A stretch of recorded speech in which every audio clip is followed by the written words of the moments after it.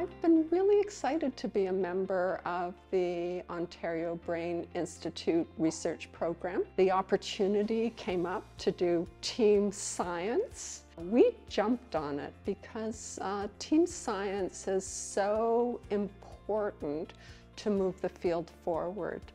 I was able to put in a team grant focused on children with cerebral palsy.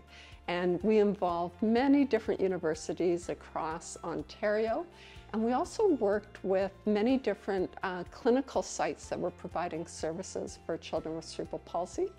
And importantly, we engaged parent and youth engagement group to help to guide us right from the get-go. When you have a neurologic disorder, you really feel hopeful when you know that there is a research team that's trying to focus on moving the field forward and making things better and, and different for you.